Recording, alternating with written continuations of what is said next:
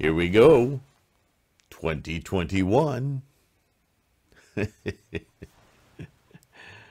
Namo Myoho Renge Kyo. Welcome. Uh, shall we continue with the Gosho into this new year? Hopefully, my uh, my voice will hold out a little bit better as it as we close the last uh, 365 day period. All right, so uh, we're in the midst of a Q&A session in this Gosho, and uh, is still uh, uh justifying his uh, lineage in the Dharma, in the teaching of uh, our Buddha Buddha-ness and Buddha practice, Buddha way. And uh, this next question is quite direct and it's almost a repetition of the previous one, but it's a little different. Question How can you be certain that you are the votary of the Lotus Sutra prophesied to appear at the beginning of the latter day of the law? Since we've already established that. So the answer is going to be a, uh, a common refrain we've heard several times. Uh, he quotes directly from the Lotus Sutra itself. Since hatred and jealousy toward this sutra abound even when the thus come one is in the world, how much more will it be so after his passing? Another passage reads, There will be many ignorant people who will curse and speak ill of us, and will attack us with swords and staves. A third passage says, Again and again we will be banished. A fourth reads, it, the Lotus Sutra, will face much hostility in the world and be difficult to believe. Uh, a fifth uh, quote Some among the group would take sticks of wood or tiles and stones and beat and pelt him. A sixth quote Evil devils and devils' people, heavenly beings, dragons, yakshas, kumbhanda, demons, and others will seize the advantage. End quote.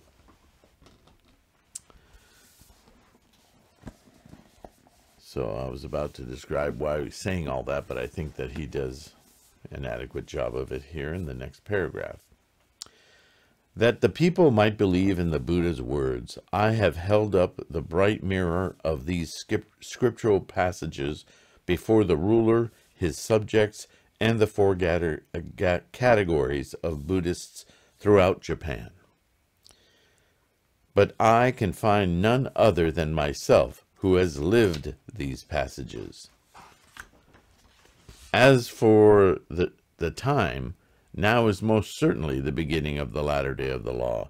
But had Nichiren not appeared, the Buddha's words would be false. So it's obvious he's claiming this position because the um, the teachings of the lotus uh, and prior to the lotus point to this being the time and that this true votary of the sutra um, will be uh, will will face conflict, obstacles directly related to his support of the sutra. And in his day, he was the one being banished and and punished and so on and so forth. So, kind of obvious, isn't it? Now, in one way, this is a, a, a discourse on uh, Nichiren's obvious um, lineage and position in his time as uh, the bodhisattva that he was. But it's also written in this way so that we understand that this is advice for our own practice, that there will be times when we will find conflict uh, dissuading us from practicing. Uh, and the stronger we practice, the more reviled we might be. But this is none other than the process of something that your mother probably told you when you were a kid. Um, don't hang around with bad influences. Uh, try to find better friends. Uh, and I, I, you know, when your mom says that to you and you're, you know, seven, eight years old, you're like, how the heck do I do that? Frank, friends just magically appear in my life. I don't, you know, I don't cultivate them. It's not like I go out in the yard and oh, this will be a good friend, and that's not a good friend. No, it's an advice on experience.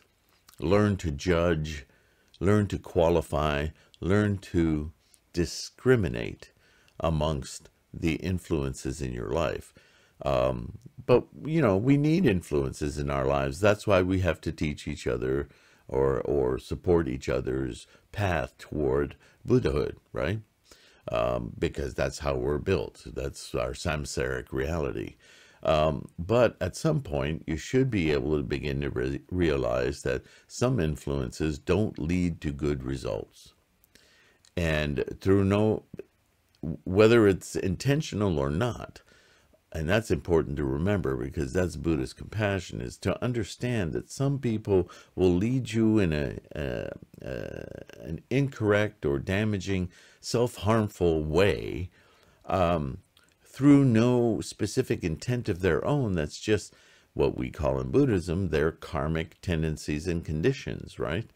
Um, others will have intent, and we need to recognize recognize recognize those rather quickly.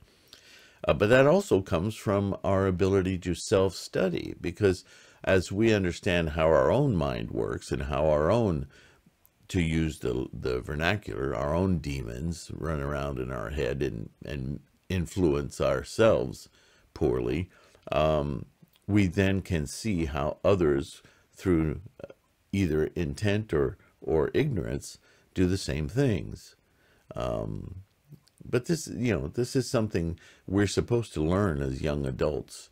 Uh, but our cultures have grown to a different kind of education, a more um, uh, socioeconomic reality, more spe especially in capitalist nations, right, where everything's about uh, security slash power through uh, the manipulation of gains, as much gains for as little work as possible. It's not a very uh, it's not a very egalitarian system, and Buddhism is an egalitarian system, right? All right. Next question. You are an extremely arrogant uh, monk, even more arrogant than Mahadeva or Sunakshatra. Is this not so? So this is pretty critical of, of Nichiren. Answer. Insulting Nichiren is an offense even graver than those of Devadatta or Vimalamitra. My words may sound arrogant, but my sole purpose is to fulfill the Buddha's predictions and reveal the truth of his words. In all of Japan, who but Nichiren can be called the votary of the Lotus Sutra? By denouncing Nichiren, you would make lies of the Buddha's prophecies. Are you not then an extremely evil man? So he turns this on its head and he says it specifically which uh, in the third person because he doesn't want to see himself uh, it's not that he doesn't want it he doesn't want to be described as somebody who is practicing Buddhism and disseminating this teaching for his own gain because this was very much a reality and still it is today for many schools of thought, whether they be religion or or even science or or, or um, philosophies. Uh, it's all about you agree with me, then you're good. If you don't agree with me, then you're bad. And uh, so he doesn't want the teachings to be held in that uh, that that um, uh, context.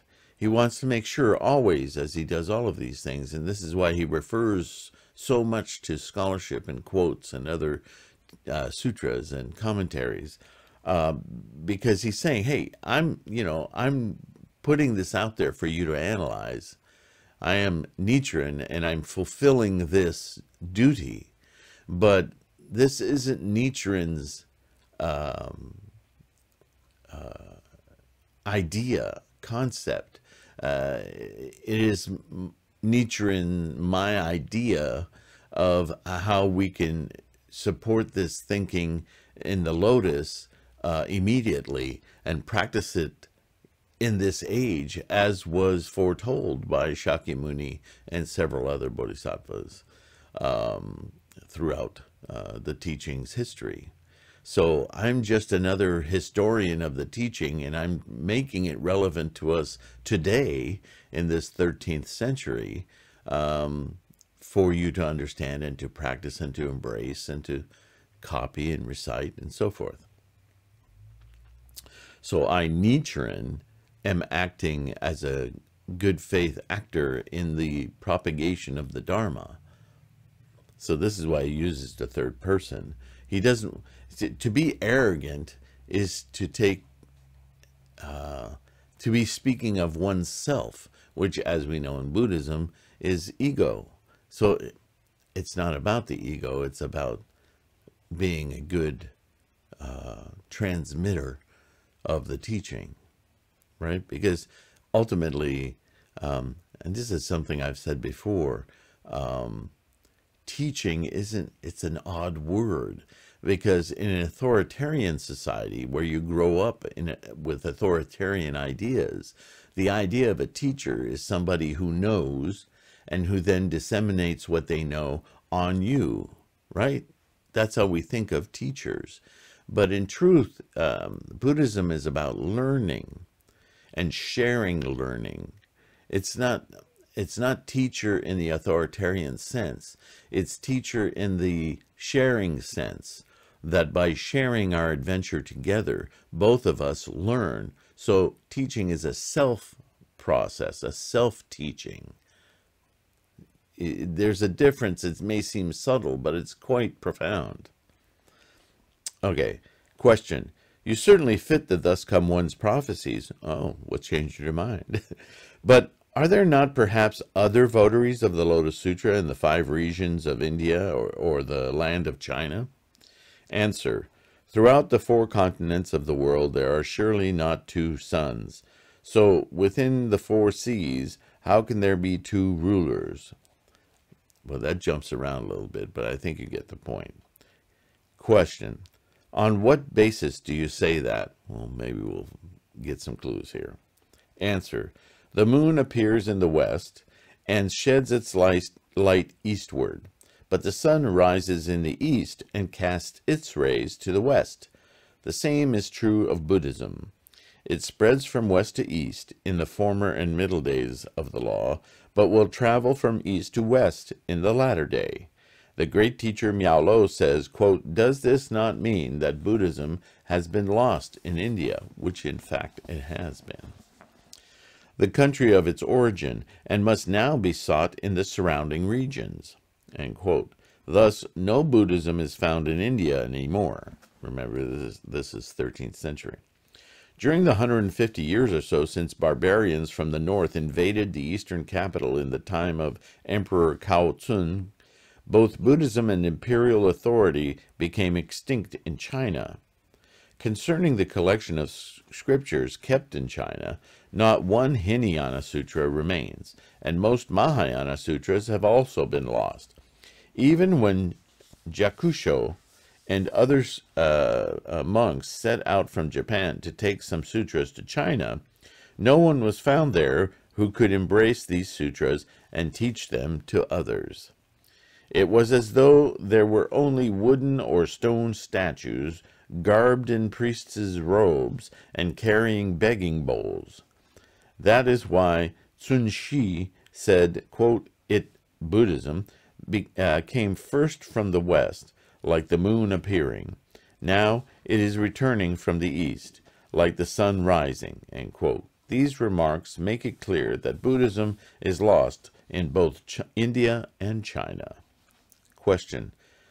Now, I can see no Buddhism exists in either India or China. But how do you know Buddhism exists in the other three continents, in the East, West, and North? Answer. The eighth volume of the Lotus Sutra states, quote, After the Thus Come One has entered extinction, I will cause it, the Lotus Sutra, to be widely propagated throughout Jambudvipa and will see that it never comes to an end. End quote. The words throughout Jambudvipa indicate that the other three continents are excluded.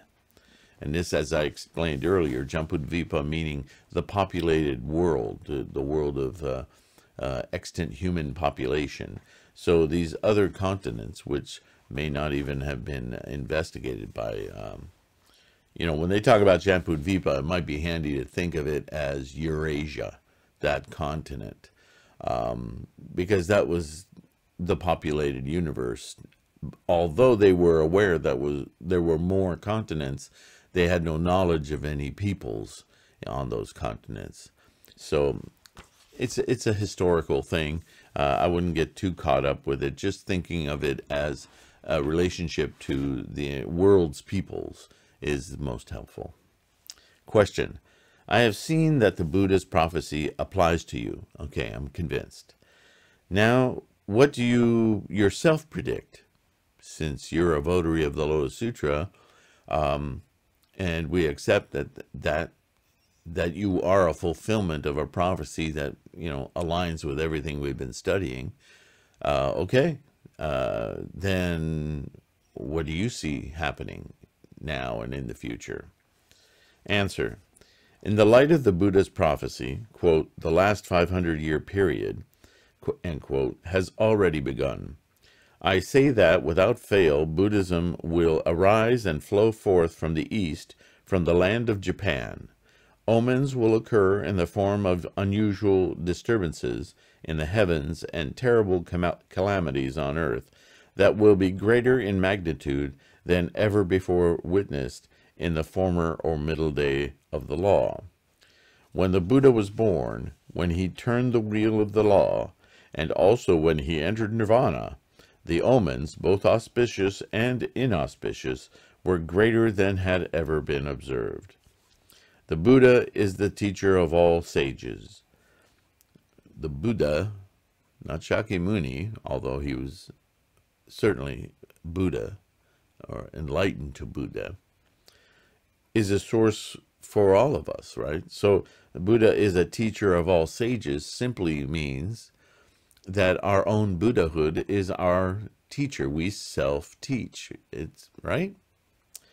The the sutras describe how, at the time of his birth, light shone forth in five colors in all directions, and the night became as bright as noon. At the time of his passing, twelve white arcs crossed the sky from north to south. The sun's light was extinguished, and the day became as dark as midnight. There followed the two thousand years of the former and middle days of the law. Sages, some Buddhist and some not, were born and died, but never were there any omens of such magnitude. From the beginning of the Shoka era, 1257, through this year, however, tremendous earthquakes and extraordinary phenomena in the heavens have occurred, exactly like the signs that marked the Buddha's birth and death. You should know from this that a sage like a Buddha has been born. A great comet crossed the sky, but for which ruler or subject did this omen appear? The earth tilted, and gaping fissures opened three times, but for which sage or worthy did this occur? You should realize that these great omens, both good and bad, are of no ordinary secular significance. They are signs that the teachings of the supreme law are ascending and that the other teachings are in decline. Tendai states, quote, By observing the fury of the rain, we can tell the greatness of the dragon that caused it, and by observing the flourishing of the lotus flowers, we can tell the depth of the pond they grow in, end quote. Miao Lo says, quote, Wise men can perceive the cause of things, as snakes know the way of snakes, end quote. Twenty-one years have gone by since I, Nichiren, understood this principle and began propagation. During this period, I have suffered difficulties day after day and month after month. In the last two or three years, among other things, I was almost put to death, the chances are one in ten thousand that I will survive the year or even a month. If anyone questions these, these things, let that person ask my disciples for details. What fortune is mine to expiate in one lifetime the offenses of slandering the law I have accumulated from the infinite past. How delighted I am to serve Shakyamuni Buddha, the Lord of teachings, whom I have never seen. I pray or meditate that before anything else I can guide and lead the ruler and those others who persecuted me. I will tell the Buddha about all the disciples who have aided me, and before I die, I will transfer the great blessings derived from my practice to my parents who gave me life. Now, as if in a dream, I understand the heart of the Treasure Tower chapter. As the sutra states, quote, if you were to uh, seize Mount Sumeru and fling it far off into the measureless Buddha lands, that too would not be difficult. But if after the Buddha has entered extinction in the time of evil, you can preach this sutra, that will be difficult indeed. The great teacher Dengyo says, quote, Shakyamuni taught that the shallow is easy to embrace, but the profound is difficult. To discard the shallow and seek the profound is the way of a person of courage. The great teacher Tendai trusted and obeyed Shakyamuni and worked to uphold the Lotus School, spreading its teachings throughout China. We of Mount Hiei inherited the doctrine from Tendai and worked to uphold the Lotus School and to disseminate its teachings throughout Japan. I, Nichiren, of the Awa province, have doubtless inherited the teachings of the law from these three teachers, and in this era of the latter day I work to uphold the Lotus School and disseminate the law. Together we should we should be called the four teachers of the three countries. Namu Myoho Renge Kyo, Namu Myoho Renge Kyo. Written by Nichiren, the Shramana of Japan, the eleventh day of the in intercalary fifth month of the tenth year of Bun-En, uh, Bun-A, 1273, with the cyclical sign Mizunoto Tori.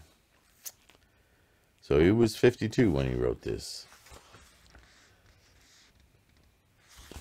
It's an interesting, interesting goshos. A lot of, uh, there were a lot of things on his mind, obviously, as he wrote it.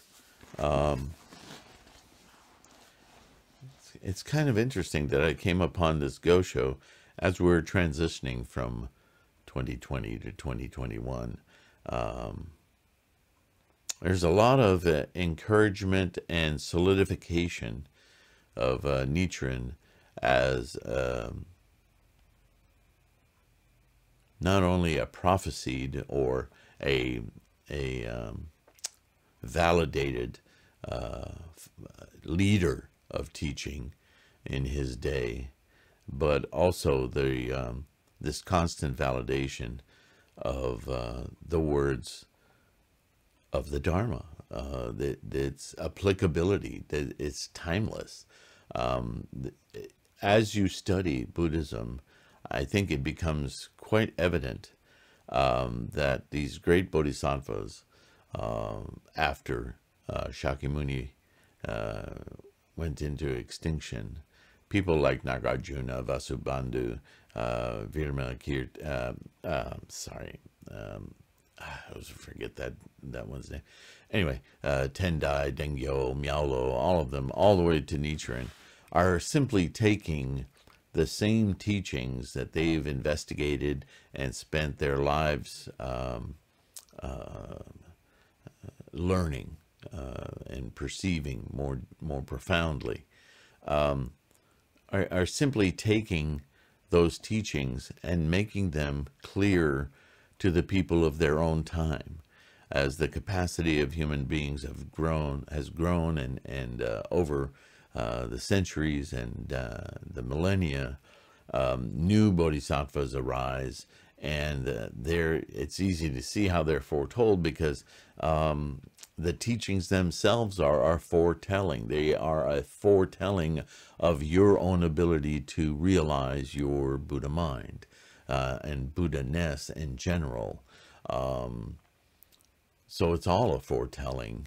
Uh, and as you help and share your learning of that with others, you become a foreteller because of the nature of the teachings. It's, it's the, the method the Buddhist method, if you will. Uh, that's what we do when we chant Namo Myoho Renge Kyo to our Gohonzons. Those are mirrors. They're mirrors of our own Buddha-ness. So what are we doing? We are self-teaching, learning our Buddha-ness.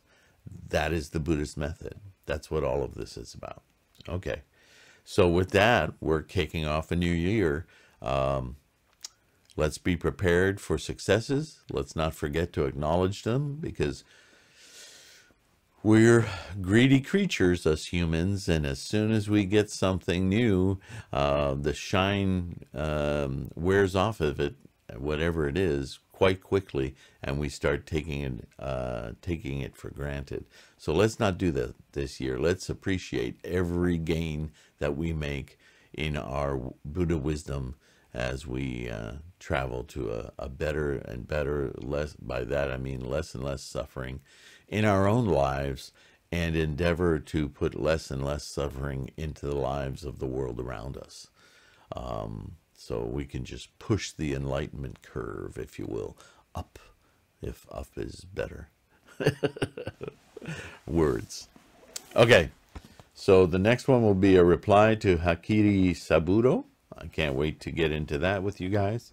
And for the time being, so deeply appreciate uh, you're participating in these videos. Oh, I thought of something earlier. You know, with almost every video, I always have to remind myself that there's, yes, there's a cost associated with all this equipment and all this effort. And I hate to ask, but um, I have no, I don't have a job. I don't have any other mode of income. I'm not whining. I'm just saying it's a privilege for me to be able to make these videos and increase my uh, my own uh, life condition as well as hopefully yours.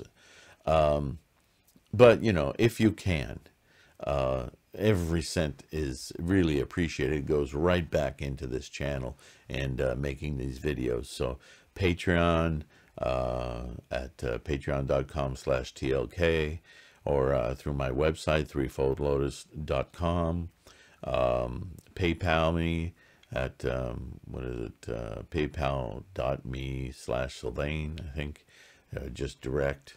Um, or another thing I thought of, though, today was that send me candles, nice white plain candles. You know, it's things like that. I run out of things like that. Um, or, um, you know, incense, good clean incense. Um, thing, things that help with the practice. Those donations are certainly help me a great deal, but I think that, that the cause they represent are good for you as well. Only if you're able to do it, though. I'm, I'm not asking you to, to, to spend your last dollar. To, you spend it on yourself. Spend it on your practice. Okay, but um, so enough on that. Um, but thank, but truly, truly, from depth of my heart, thank you so much. You guys helped 2020 be really successful against many odds, um, and uh, hopefully my videos reflect that, the sound quality, the video quality, and so on. Um, but I want to keep making them for you because it, it makes it makes my life so much better, and I hope it helps yours. So. With that, we'll see you in the next one. Thanks so much.